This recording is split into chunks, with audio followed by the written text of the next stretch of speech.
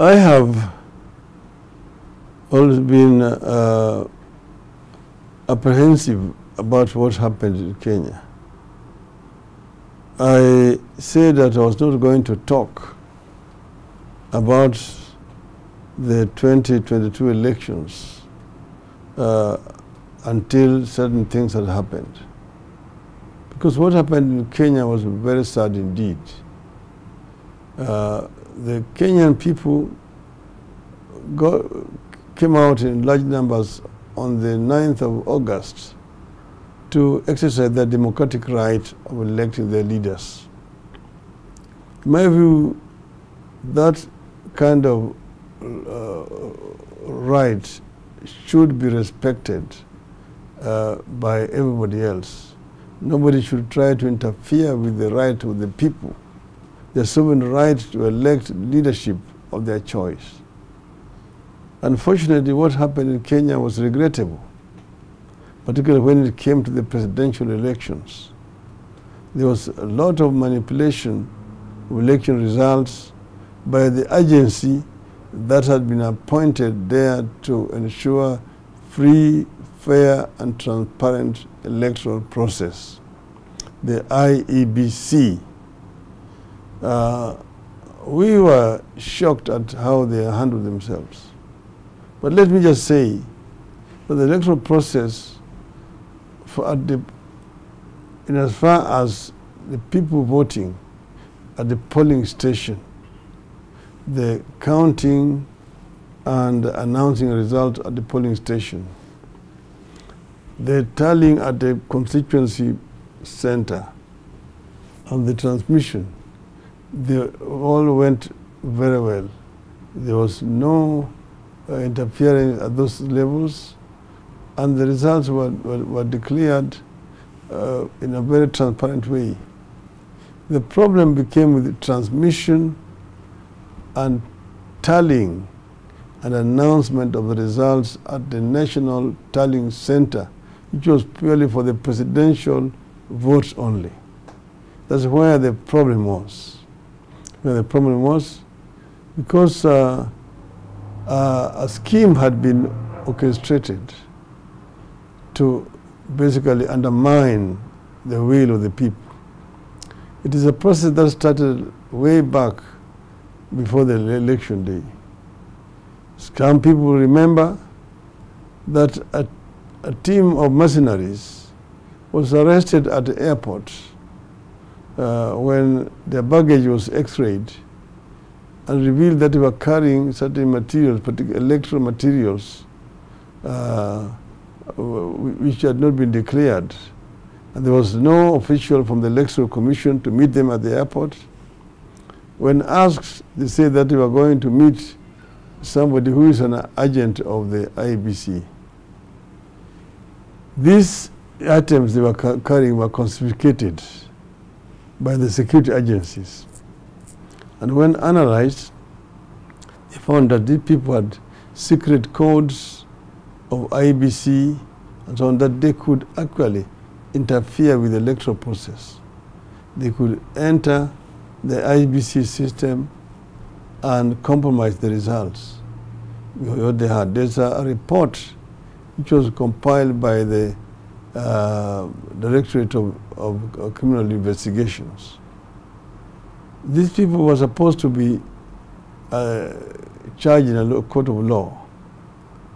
But when the head of the intelligence convened a meeting, which included the Directorate of Criminal Investigations, the um, Electoral Commission uh, chairman, uh, the head of uh, uh, internal security, and so on, Mr. Chebukati actually gave a threat that if those people, Mr. Chebukati, the chairman of the IBC, were not released, then elections would have to be postponed. And these were his agents. What was surprising is that their presence or their uh, uh, coming was not unknown by other members of the Electoral Commission. They were only reporting to the chairman of the Electoral Commission. these mercenaries. If then another investigation was carried out by IBC, which revealed that there were 19 other people who had come in from this same group that was working for this Smartmatic company, a company which had been uh, employed to provide ICT services to the, to the, to the IBC. There were a total of 21 people, out of which 19 were foreigners. Other, other members of the Electoral Commission did not know of the presence of these other 19. Those 19 are people whose uh, record from investigations showed that they are people with criminal records in ICT. They have committed cyber crimes. In other countries, they are being looked for, like in Sri Lanka, they were, they were being looked for. So these were basically crooks who had been smuggled into the country by the IBC for purposes of compromising the electoral process. Um, come now the, the day of, of the of the elections, the elections were, people, Kenyans turned up in numbers to vote and they exercised their right at the polling station. And the counting and tallying at the polling station was flawless. After that, the presiding officers went with the results to the constituency tallying center. Again, at that center, there were no problems. The tallying was done, and at, at the polling station, they came with the form 34 A's, they called, for the presidential votes. At the uh, uh, constituency tallying center, then the, the returning officer now had what is called 34 B's for the presidential votes. So tallied. And each time this tallying was done, the form would be scanned and then will be transmitted to the, the, the server at the, at the national level. Now, one assumed that those results are the ones which were being and, uh, received by the Electoral Commission and which were going to be announced. What we have now discovered since that time is a different story. First, we, we discovered that there were four different servers there's one server which was in the, in uh, the Netherlands, in the clouds. Two, there was another server in Venezuela. Three, there was another server in the anniversary towers, headquarters of the Electoral Commission. Four, there was another server in the industrial area. And fifth, there was a portal at the National Tallying Center at the Bomas of Kenya. So what would happen was that when these results were being transmitted from the polling station uh, and even at, from the constituency tallying center, they were going to these four servers.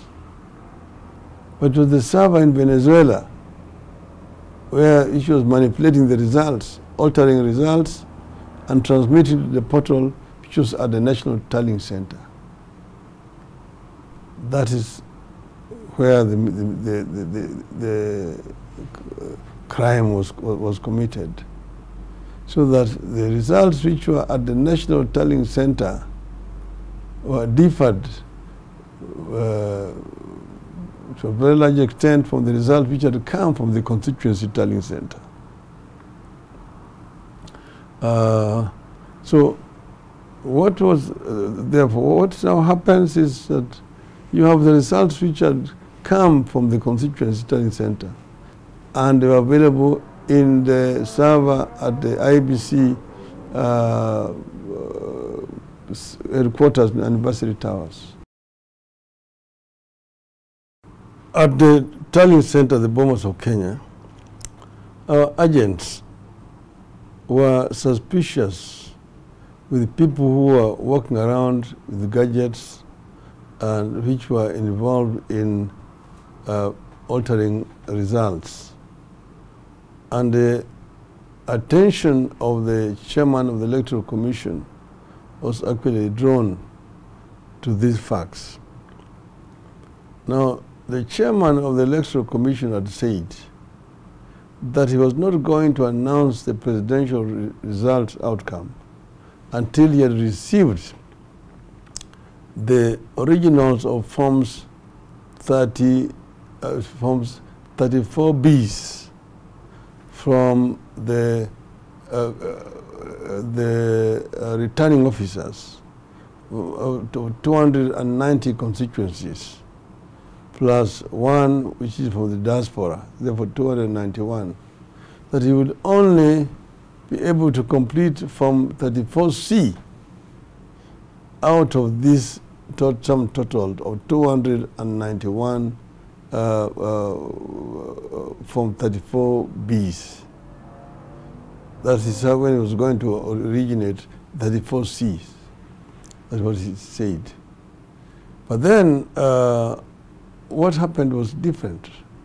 As you know, as the tallying was going on, the, port, the portal was live and the people were seeing on the television screen the results as being coming from constituencies. They were being announced and, and, and, and people were show, showing it. So the figures kept on changing. However, two days before the the end of the exercise, they stopped the portal. It was no longer uh, showing anything. And then they were going through constituencies, but they were no, no longer being posted, the portal. Then now they reached a stage where they were 29 constituencies which still remained. The chairman stopped the exercise at that point. And then uh, later he said he was going to rest. He went to rest. He went away for eight hours. He was completely incommunicado. When he returned after these eight hours, he came and then called the commissioners and told him that he had the final results which he wanted to announce.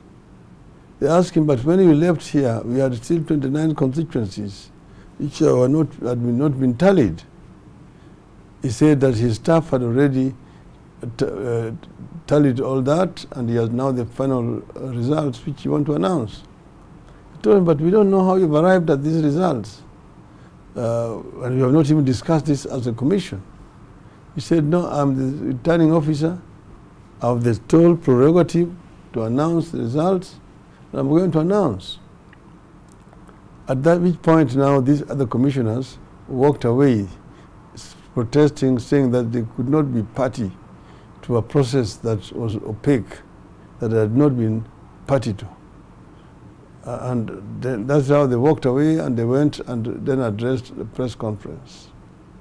Chebukati, of course, went then and, and made his uh, own uh, announcement. We were not satisfied. Our people were, of course, um, uh, tantalized but we said, look, let us follow the process of the law. So we'll go to the Supreme Court. And we went to the Supreme Court. But what happened in the Supreme Court was uh, uh, a charade. Because at the Supreme Court, our lawyers demanded access to the server so that they could be able to download uh, information which is available in the server. In spite of their well, lawyers' repeated demand to the court, one of the judges there who was in charge of ICT kept on uh, uh, pushing the matter behind. Yes, yes, Justice Lenaola. He knew exactly why he was doing it. And uh, Smartmatic wrote a letter, whose copy we have, saying that they cannot allow other people into the server because that would infringe on their proprietary rights. Now you ask yourself, this is a company which has been engaged by the government to provide ICT services to the Electoral Commission. And there's now a petition against the results which uh, uh, have been announced by the Electoral Commission being disputed by one of the parties involved. And this party is being denied access to the server where the records are. Now, how can you then be having a genuine case? How can you prosecute a, a, an effective case? The court did not see this as strange. The court did not see this as strange. That's why we have our doubts about the uh, impartiality of that bench, that bench. Because then after that, uh, of course, we provided sufficient evidence. Our lawyers, for example, gave an example of, uh, you know, uh, live, you know, I, I, IEBC server where they, they showed uh, manipulation of results, showing even the signature of somebody, one uh, Jose uh, Camargo, Venezuelan, his signature in, in the document, and asking what was Jose Camargo, Camargo, Camargo doing with the, the electoral process. They showed that one of the uh, because KIEMS kit was supposed to be uh, distinct. Each KIEMS kit had its own identification number and it could not be duplicated. But now I have a case where one KIEMS kit was transmitting results from a polling station in Mount Elgon. And then within eight minutes, it was transmitting the same one, it was transmitting results from a polling station in Nyeri, over 300 kilometers away. The question was, how did this happen? The court did not find this as strange at all.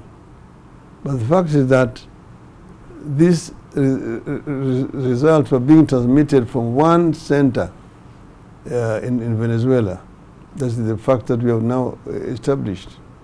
Okay, so uh, uh, then the Supreme Court went and made this ruling, which of course we said we respect, but we disagreed with.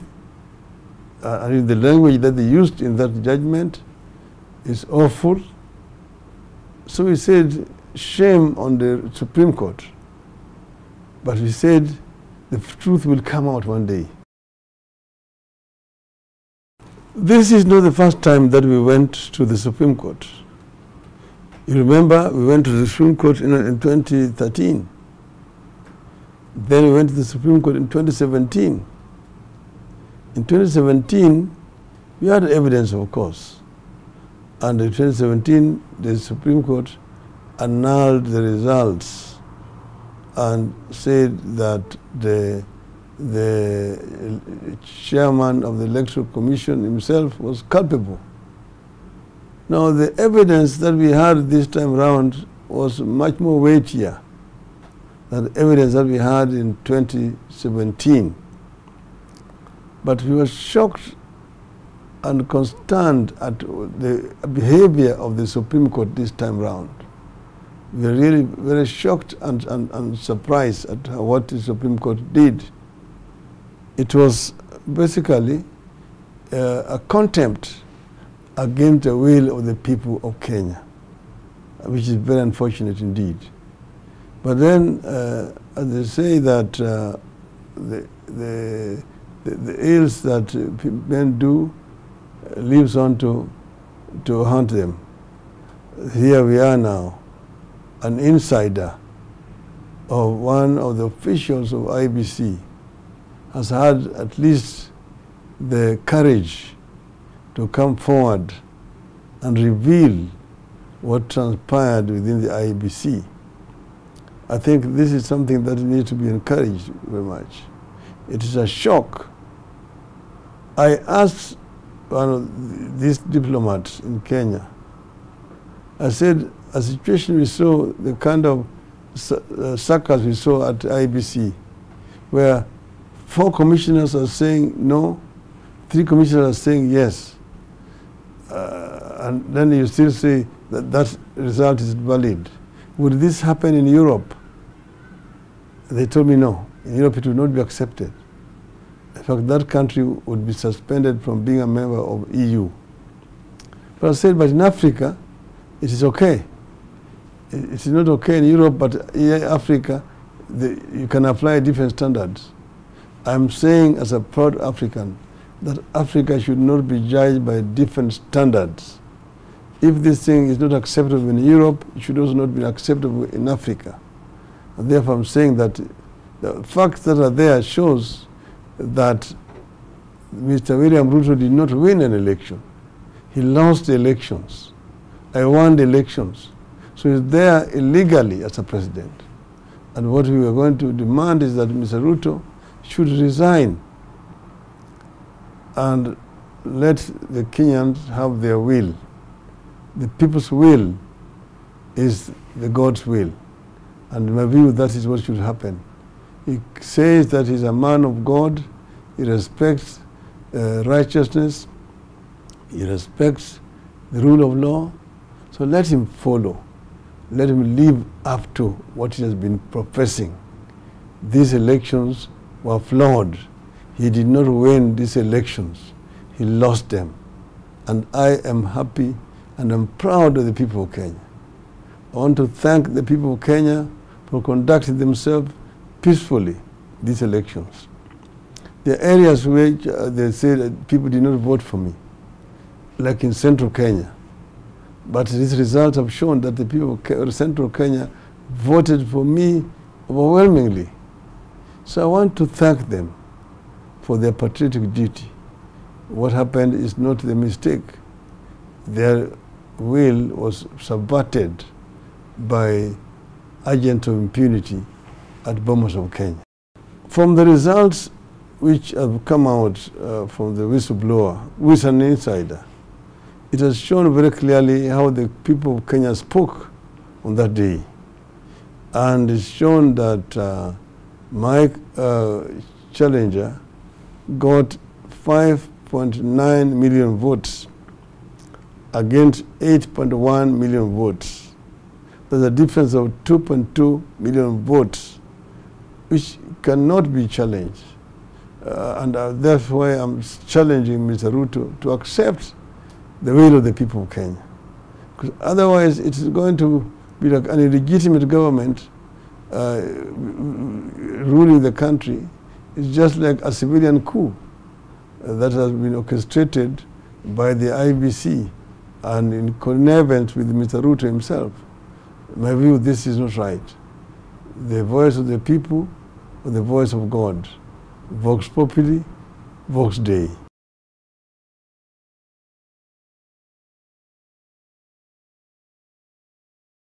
No, I've said that the people of Kenya expressed their will through these elections. Those who are resident in the country voted for me overwhelmingly. Secondly, the Kenyans who live in diaspora in the United States, in Europe, in Africa, particularly in South, Southern Africa, turned up and, and voted. And the diaspora vote, although it was not as huge as uh, would have been expected, but it was majority for on, uh, in my favor. So I want to thank them for turning up and voting and voting for me in those elections. I want to thank them very much and I tell them that their vote did not go in vain when we form a government, we will definitely work together with them.